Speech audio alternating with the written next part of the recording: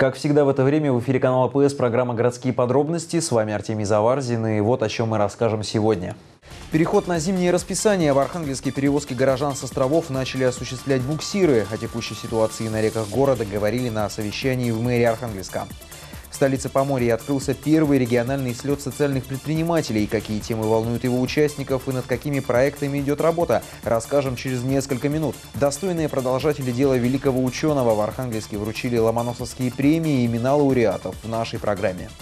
Роботы и 3D-технологии. С этим и многим другим школьники знакомятся в Центре молодежного инновационного творчества, где побывала наша съемочная группа.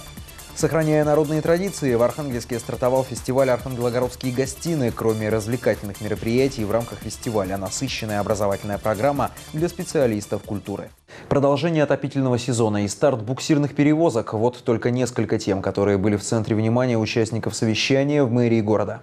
На минувшей неделе в жилых домах и объектах социальной сферы города выдерживался необходимый температурный режим. На теплосетях чрезвычайных ситуаций не было, но возникла одна нештатная.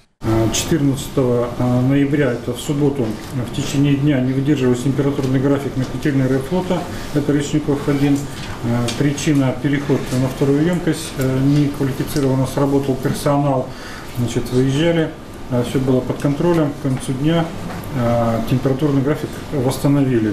Устранять дефекты на сетях в кратчайшие сроки – такую задачу ставят городские власти перед энергетиками. Да, я понимаю, что работы ведутся, там оперативно делаете, но я понимаю, что была небольшая задержка в связи с резким похолоданием. Вот, надеюсь, что потребители не страдают, да, не получают, скажем так, услугу по отоплению ГВС в полном объеме. Участники совещания обсудили обстановку на реках Архангельска. В Маймаксе и Соломболе начали работу буксиры. Они связывают с материком острова Бревенник и Хабарка. Выход и выезд на лед в черте города запрещен. Подрядные организации полностью готовы к обустройству ледовых переправ и приступят к их наведению при образовании льда необходимой толщины. Во вторник завершила работу комиссия по отбору кандидатов на должность главы муниципального образования города Архангельск. К 10 утра претенденты на этот пост собрались в холле перед залом заседаний городской думы. Как ни странно, но конкурсный день для кандидатов начался с фото на память. Когда еще соберутся вместе, ведь работать на посту главы города предстоит только одному. Пока кандидатов 9. Это министр ТЭК и ЖКХ области Игорь Годзиш, депутат областного собрания Сергей Пивков, бывший заместитель начальника регионального управления ФСКН Сергей Юрковский, блогер Михаил Шишов, профессор САФУ Юрий Барашков, а также предприниматели Виталий Львов, Владимир Павалихин, Андрей Соломатин и Роман Шестаков. В начале кандидатов ожидал письменный экзамен, тест из 50 вопросов на знание конституционных и законодательных норм. Затем экзамен устный, собеседование по программам развития Архангельска, которые кандидаты представили на конкурс. Безусловно, одно из важных будет моментов – это услышать, как человек эту программу на самом деле будет представлять самостоятельно и сможет ответить на те вопросы, которые возникают. Конкурсная комиссия работала в течение пяти часов. Предполагалось, что ее представители из девяти претендентов выберут двоих или троих кандидатов. Однако Э, посмотрели и по результатам тестов, и по результатам э, э, собеседования, подготовки программы, понимания проблематики города, предложений по их реализации. И в целом сошлись, что наиболее подготовленные из кандидатов это, безусловно, Гуджиш Григорьевич. Я считаю, что Э, ряд программных э, предложений, которые были у кандидатов, можно, в общем-то, будет потом обобщить тому, кого поддерживает депутат, депутат Архангельской городской думы, и, и с этим идти дальше реализовывать. Э, это первое. И второе, опять же, по итогам решения сессии Архангельской городской думы, я думаю, что ряду кандидатов ну, имело бы смысл вообще-то сделать предложение и как-то совместно Э, решать вопросы э, в городе Архангельске. Кандидатуру Игоря Годзиша на пост главы Архангельска городские депутаты рассмотрят на очередной сессии 25 ноября. Для выборов необходимо большинство голосов от списочного состава депутатов. В столице Поморья открылся первый региональный слет социальных предпринимателей. Он организован фондом «Наше будущее» при поддержке правительства Архангельской области, САФУ имени Ломоносова и Архангельским центром социальных технологий «Гарант». Социальное предпринимательство – явление молодое, и многие исследователи называют его четвертым сектором экономики, наряду с государственным, частным и благотворительным. За рубежом оно существует уже более 30 лет. В эпоху рыночных отношений пришло и в Россию, где в силу экономических причин и законодательной неурегулированности пока не получило должного развития. Социальный бизнес – это все-таки а, это состояние души. Люди, люди Люди его делают не из-за выгоды извлечения прибыли, у них другая выгода. Они хотят изменений и улучшений. Допустим, если кто-то занимается со стариками, они и так будут заниматься стариками. Но если им чуть помочь, то они будут ну, лучше это делать, более профессионально. Им будет просто проще, они больше могут сделать э, каких-то вещей. Понимание этого сложилось и у власти. Не случайно организатором первого слета социальных предпринимателей выступило правительство Архангельской области, которое продолжает курс на поддержку развития социального предпринимательства на уровне региона. Соответствующая программа действует второй год и продлена на 2016 год. При этом объем финансовой поддержки проектов не снижен, несмотря на сложности с бюджетом. Понимание необходимости развивать этот сектор экономики сложилось и у руководства областного центра. В чистом виде э, предприниматель социальный не получит больших доходов, мы это все понимаем. Там. На сегодняшний день, э, что у нас происходит э, в городе Архангельске, это поддержка открытия детских дошкольных групп, поддержки, групп содержания детей. Да? То есть это не в чистом виде детский сад, лицензию получить им достаточно сложно, вот, но сами группы дневного времяпрепровождения детей у нас открываются уже третий год. Средства на организацию частных детских садов городские власти выделяют совместно с областным и федеральным бюджетом. Открыто уже несколько таких групп, в которые ходит 100 детей. Создано около 40 рабочих мест. Назвать этих предпринимателей социальными пока не позволяет законодательство. Нормы отсутствуют. Но по сути это и есть социальное предпринимательство, считают в руководстве города. Как и ТОСы, которых в Архангельске уже 10. Это тоже социальное предпринимательство. Они вкладывают свой вклад там, до 10-15% собственных средств население вкладывает в развитие собственной территории. Э, сегодня это островные территории, но есть и округи Варавина, фактория Майской горки открываются. Они строят там тротуары, ставят скамейки, э, где-то ухаживают за спиливают э, высокие тополя. То есть это все люди благоустраивают собственную территорию. Почему бы это не назвать социальным предпринимательством? В нашем понимании это так и есть. На слете шла речь, как в отсутствии четко сформированной позиции государства и его законодательной поддержки вести развитие социального предпринимательства на местах. Как показывает архангельский опыт, это возможно. Формировать творческое мышление – необходимость детства. В этом уверены и в Архангельском центре молодежного инновационного творчества. Как растят будущих инженеров и как воплощают они свои смелые идеи. Об этом они и сами рассказали нашей съемочной группе. Царство чудо-машин и точных расчетов. Вот на таком 3D-принтере можно сделать, кажется, все, что фантазии угодно. Результаты объемной печати не без восторга оценивают гости Центра молодежного инновационного творчества. Здесь на один квадратный метр площади минимум один будущий инженер. Пятиклассник Даниил Поляков явно опережает школьную программу. Он сам построил и за пару дней запрограммировал своего робота. Самое интересное в них это то, что сам без помощи человека передвигаешься.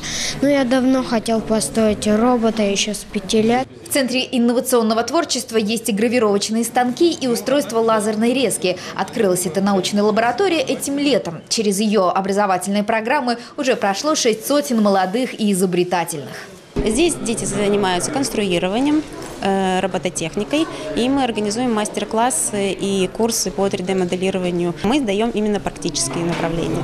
В школах такому не научат, поэтому учителя технологии и информатики Архангельска смогут использовать центр как живую иллюстрацию того, куда могут привести учеников их технические фантазии. Вот такое взаимодействие в городе системы образования, системы дополнительного образования и инновационного центра по поддержке молодежи предпринимательства, это будет очень важно и интересно. Это популяризация вот этих направлений, связанных с инновацией. Изобретений в центре десятки, впрочем, главное не количество, а перспектива. Молодежь, которая здесь а, остается, она дальше может производить что-то свое, там какое-то ну, изобретение, которое здесь же можно потом будет с, с коллегами и запатентовать. Дальше пойти там, э, как мы сейчас понимаем, э, в тот же фонд Бортника в Москве, да, который дает до 10 миллионов рублей там, на разработку твоих инноваций. Основная задача – подкрепить идеи деньгами, чтобы технические достижения реально работали. Ведь, как говорят в центре, утолить жажду придумывания в его стенах может каждый. Достойные продолжатели дела великого ученого. 19 ноября, в день рождения Михаила Ломоносова, по традиции состоялось вручение ломоносовских премий. Из шести наград две учреждены мэрией Архангельска и вручаются молодым ученым. Свои труды лауреат Ломоносовской премии в номинации «Молодой ученый» Ирина Крайнова посвятила подрастающему поколению, исследовав особенности развития сердца у юных северян. Мы провели исследование детей северян, исследование сердца детей, выявили э, границы тех параметров, с помощью которых можно выявить заболевание сердца на очень ранних стадиях. Общеизвестно, что чем раньше мы выявим заболевание, тем лучше прогноз. Возможно, даже приостановим развитие этого заболевания. Лауреатами Ломоносовской премии в номинации «Молодой ученый», учрежденной мэрией Архангельска, стал авторский коллектив специалистов СГМУ, которые создали уникальную лабораторию диагностики туберкулеза. До создания этой лаборатории диагностика занимала недели и месяцы. Сейчас же в течение двух часов мы проводим диагностику туберкулеза абсолютно бесплатно для всех жителей Архангельской области. Премия имени Ломоносова была учреждена администрацией Архангельской области и мэрии Архангельска в 1998 году. Традиционно ее вручение прошло во время ломоносовских чтений. Архангельской области во многом сочетается с именем Ломоносова э, не только в нашей стране, но и в мире в целом. И мы, как члены Ломоносовского фонда, чтим память а, Михаила Васильевича. Вы посмотрите, полный зал опять собран. А, приехали фигуры федерального масштаба, а, чтобы вспомнить, послушать доклад и, естественно, почтить память этого великого ученого. Лауреаты Ломоносовской премии в номинации «Молодые ученые» получили от мэрии Архангельска по 50 тысяч рублей. Подарок приятный, но это, как отмечают призеры, далеко не главное. Куда важнее для ученых тот факт, что результаты их исследований уже сейчас находят широкое применение, а значит служат на благо развития нашего города. К другим темам. В минувший четверг темой номер один как для коммунальных служб города, так и для автомобилистов стал снег, который почти сутки шел в Архангельске. Тему продолжит Елена Матвеева. Временами снег. Сегодняшней ночью Архангельск встретил первый сильный снегопад – 7 миллиметров осадков. Начиная с 4 утра на главных улицах и мостах города работало 18 единиц спецтехники. Для коммунальных служб первый снегопад неприятным сюрпризом не стал. Его они встретили в полной боевой готовности. Техникой ударили по снежному нашествию. Всего для уборки города задействовано более 60 единиц техники. Особое внимание дорогам первой категории, пешеходным переходам и тротуарам. В первую очередь убираем главные артерии города. Это улица Воскресенская, проспект Троицкий, проспект Ленинградский, Галушино-Московский, Привокзальный район.